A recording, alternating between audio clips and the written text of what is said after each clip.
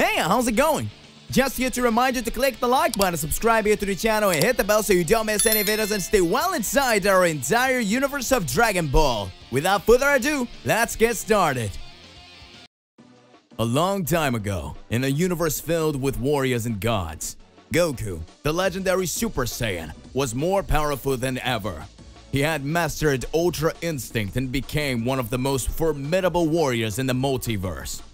However, this growing fame and power aroused the envy of the gods of destruction. The gods of destruction led by Beerus, the god of destruction of Universe 7, began to plot against Goku. They feared that his power could threaten the balance of universes and planned to imprison him in the Time Chamber, a hidden dimension where time flowed differently. Beerus and the other gods of destruction chose Whis, Goku's trainer, as an accomplice in their betrayal. Whis reluctantly agreed to help them, hoping that Goku could learn an important lesson in the hyperbolic time chamber, and that it would benefit the multiverse as a whole.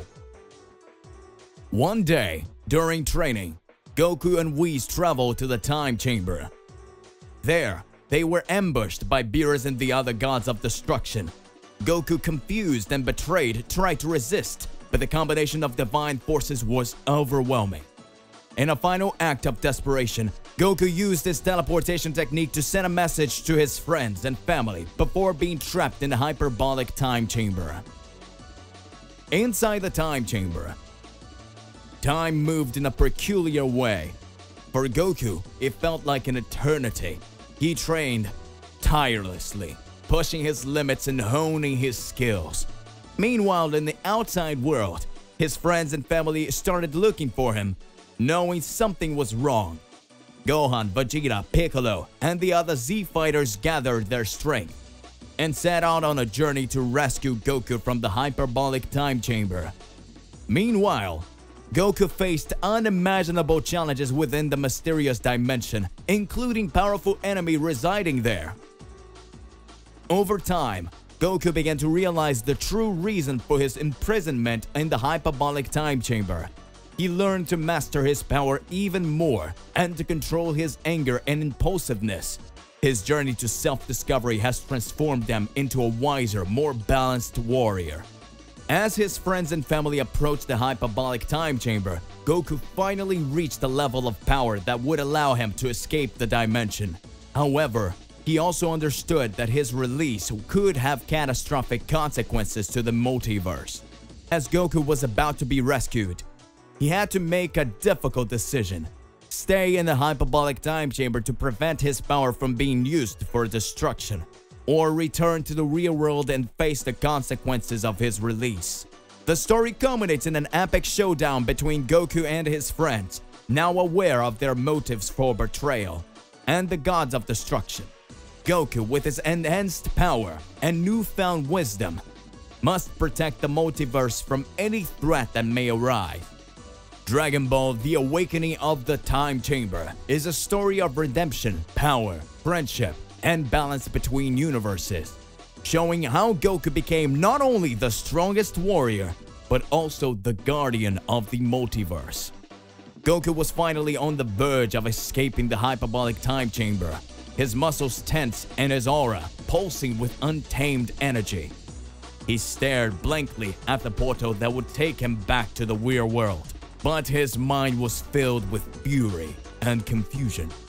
Beerus, the god of destruction, was standing beside the portal, watching Goku with a sardonic smile. He looked relaxed, as if this was all just a game to him. Beerus, why did you do that? Why did you imprison me here?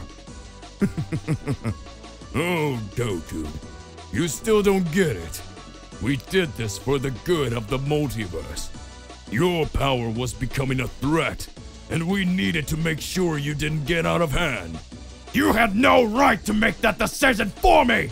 I could have helped keep the balance in other ways! but you're so impulsive, Goku. Sometimes it takes a drastic act to teach a lesson.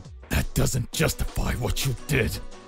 You betrayed our friendship, Beerus. Friendship is a funny thing, isn't it? Sometimes you have to sacrifice one to protect something bigger.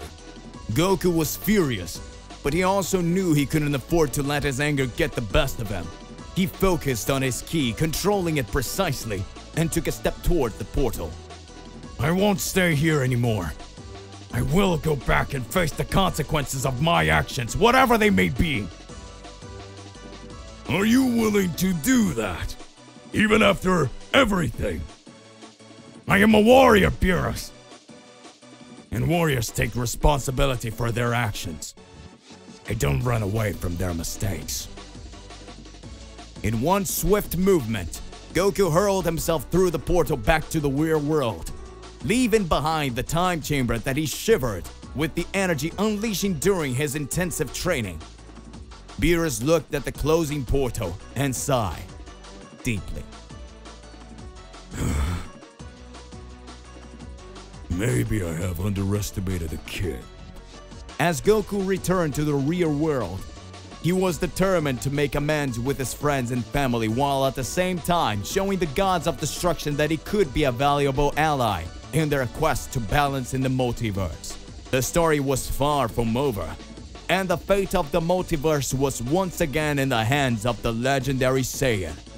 Back in the real world, back in the real world, Goku emerged from the time chamber amidst an explosion of energy that drew the attention of everyone present. His friends and family were waiting for him with concern, including Gohan, Vegeta, Piccolo, and even his faithful friend Krillin. Father, are you okay? yeah, I'm fine. I need to explain everything for you. You must have a lot of questions. Goku shared the story of his imprisonment in the hyperbolic time chamber, the betrayal of the gods of destruction, and his journey of self-discovery. He explained how his power was being considered a threat to the balance of the multiverse and how he was determined to prove he could use it for good. Hmm. So you're saying the gods of destruction think they can control you? Hmm. Exactly, Vegeta. But I won't allow them to use me as a weapon. I want to use my power to protect our world and all other universes. It's a noble decision, Goku. But you need to understand that the gods of destruction are extremely powerful beings. You cannot face them alone. I know that, Piccolo. That's why I need help from all of you. As the conversation continued, Beerus and the other gods of destruction watched from afar, amazed at Goku's resolve. They realized that they underestimated the Saiyan, not just in terms of power, but determination as well. Maybe we got it wrong after all. Goku could be the key to the balance we've been looking for. The gods of destruction withdrew, leaving Goku and his friends with the daunting task of proving the Saiyan could be a reliable ally. Together they began to train, honing their skills and developing strategies to deal with any threat that arose. As time passed, Goku became not only stronger, but wiser. He knew his journey was far from over, and the multiverse was filled with challenges he had yet to face. But he was determined to protect the world and prove that a warrior could overcome even the greatest odds when he had friends and determination on his side. Thus, the story of Goku and his friends continue, with epic adventures, fierce battles, and the ongoing quest for balance in the multiverse. They were ready to take on any challenge that came their way, with Goku leading the way as a true protector of the universe. To be continued. So hey, what do you believe and what do you imagine about all of this? Don't forget to click the like button, subscribe here to the channel, and hit the bell so you don't miss any videos. And that's it for today. I'll see you on the next one. Goodbye.